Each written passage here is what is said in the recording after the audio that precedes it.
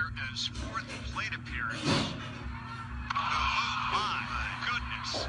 We're not 100% sure if the uh, helmet caught any of that impact or not. Just hope for the best.